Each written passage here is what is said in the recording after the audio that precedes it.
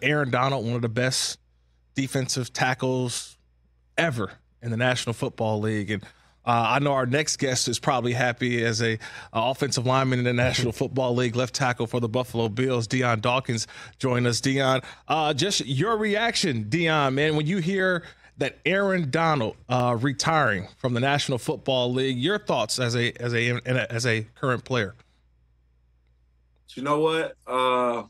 My thoughts go all over the place, brother. Uh, I'm sitting here with uh, AJ Epenesa, and uh, he just broke out the uh, news, which he just gave the uh, the head nod, and he said uh, AD retired, and I was like, man,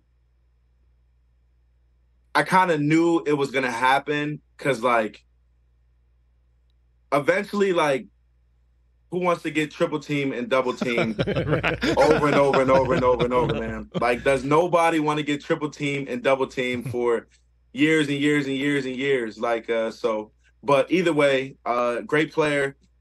Um, as a competitor, I would have loved to compete against him at least one or two more times.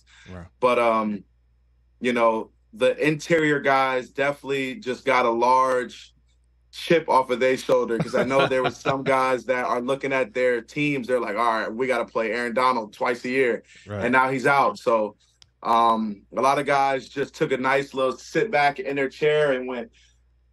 Oh. but you, you, know, it's all good, man. What, what about your interactions with Aaron Donald? Because couple years ago, yeah. we know the Buffalo Bills came into Los Angeles and kicked the door in to start the season. and yeah, we thought the Bills I, were going straight to the Super Bowl that year. But you, your interactions with him on the field. Yeah, uh, it's been it's been good. Um, like I don't have too much uh like conversation with with AD, but um playing wise, the respect is there, which is mm-hmm. all I can ask for. And uh he's made a lot of good and good plays against our team. And um, as a competitor, you know, it's it's an honor to be able to be on the football field with, with guys like that and to compete and a game plan against. And even like he's an interior guy, but yeah. when even when he comes out over the the tackle, like I'm like, all right, here we go. I got to make sure everything is on point because here comes right. like AD. But um, the interactions like have been cool, neutral, calm, and uh, and good you know, as a competitive standpoint, you know, yeah. never been left, never been right. He's always been super straight, and I respect it. So, Dion, you know, I got a bone to pick with you. Talk because in a week in which NFL news is coming from left and right, north, south, east, and west, Dion Dawkins decides to send a tweet out, an X out, whatever it is, talking about it's was good while it lasted, Buffalo excited for this next chapter of my football career. Wonder if it's okay to eat ranch now. So let's just start with the first part. ranch now. Soon as I saw that, I said, Come on. I'm literally about to call the people in Buffalo, like, what are y'all doing? First of all. And I'm like, how? Like, why? You and then all of a sudden, right at and I start texting people like, is this real? Like, why would they do? Yeah, yeah, yeah. And then all of a sudden you say, I'm just joking. Like, how could you play with so many people's emotions, man? I would never leave Buffalo. I'm never leaving. I'm a I'm Buffalo for life. Why give us this emotional roller coaster, Dion? You know, because when it comes down to it, we're entertainers, man, and and I enjoy to entertain yeah. as well as I enjoy to play the game. Um, certain things I find funny, and for the people that believe that, yeah, it just shows that people really don't be listening when you talk. Because in every interview and everything that I speak about, I speak about Buffalo and how I would never leave. So for y'all to think that I would turn my back on you is crazy. So I'm like, look, let's let's test their loyalty. Let's see, let's see where let's see how they really feel. So um I took it there and I, you know, kept it to where it is. I got and, you. you know, it's it's just a little laugh, but entertainment is entertainment. Well, I thought it was funny it was funny uh, because it had everybody going, and it was like, wow, because you got to think all these insiders are like, how does he know something that we don't know? And I'm like, this is the actual player. Like he's going to know. Right. But you were rewarded with a three year extension as well. You go into that final year of the contract. And I know a lot of players are like, man, what's going to happen? And they decide, you know what, we don't even worry about this last year. We're going to extend you another year. Congratulations on the new deal. Uh, I, I know you're happy that you got extended. And now the Buffalo Bills making some news, obviously with their signings and their pickups now. But what's now the outlook so far this offseason, having signed that new deal and where the team is heading?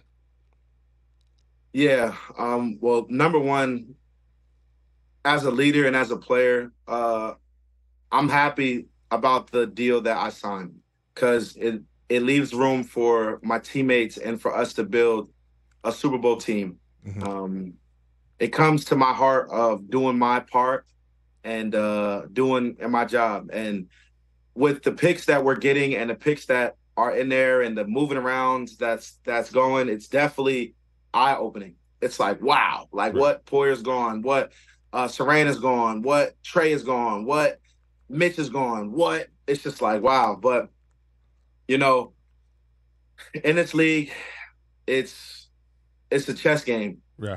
And the pieces are always gonna move. And I think that it's the saddest thing of this league that you build re- relationships over a short period of time with with guys. Um, the NFL, it sucks, but for a lot of people, it's it's not for long. And you know, like I was with Mitch for five years, and those five years seem like yeah. forever, but now those five years have come to a an end. But uh, I trust in my organization. I trust in Beane. I trust in McDermott. I trust in uh in my teammates, and I trust in the people that have to do their job. Um, I don't ever want to question Beane and what are you doing? Like, why'd you cut this guy or why'd you let him him go? That was a big mistake. I'm not a GM. I am a left tackle. Um, I do my part off of the football field because uh, that's where my heart is, and I'm gonna do my job, which is to protect the 17, and I'm gonna do it to the best that I can do. But uh, I don't question Beane, man. Um, mm-hmm. I think that Beane knows exactly what he's doing, as well as McDermott, as well as Pegula. So uh, I trust in it. They're going to keep the right guys here to give us just that chance to be in a position to win, which it seems like we're in every year. And we just got to overly kick that door in and uh and get over that hump. But uh, you, you know, those guys do and what they do, and I'm proud of them. Yeah, Dion Dawkins, left tackle for the uh, Buffalo Bills. So you said protecting 17, but you protect your chicken wings away from ranch. Why is that?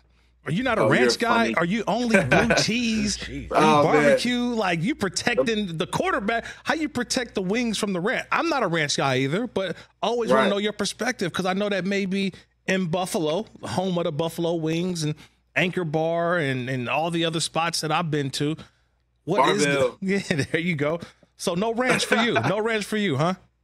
Yeah. Listen. Um now I'm a now I, now I can't say it was never never ranch, right? Right. Before I got to Buffalo, it was definitely blue cheese with sometimes I might have ranch on my plate to dip my fries in.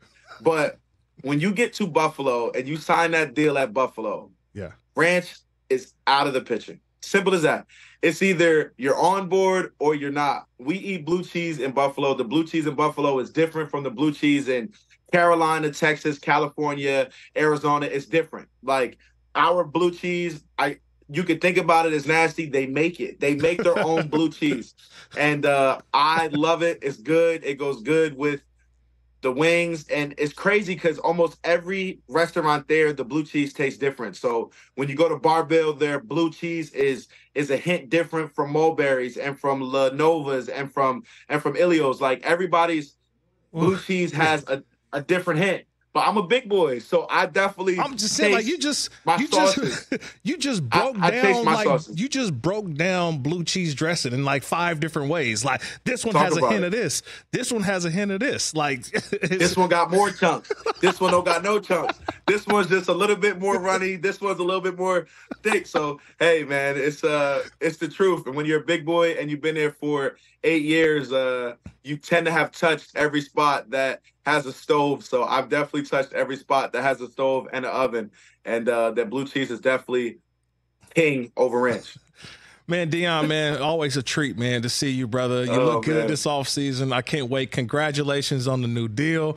And uh, enjoy the rest of the offseason, brother, and look forward to seeing you down the line. Man, thank you, bro. It's always an honor whenever we get together. You're definitely a king in this world, and uh, and I appreciate you, bro. I really and really do. So keep doing what you're doing for guys and at and at me that have one day to inspire to doing what you do and to be in the role that you're in. It's an honor. So uh, I take it with all respect and all love that you even had the honor to, to, or I even had the honor to speak to you. So I appreciate you. See you soon. So love. You got it, brother. Appreciate it. That's Dion Dawkins, everybody. Catch the Rich Eisen show every single day on the Roku channel, 12 to 3 Eastern for free.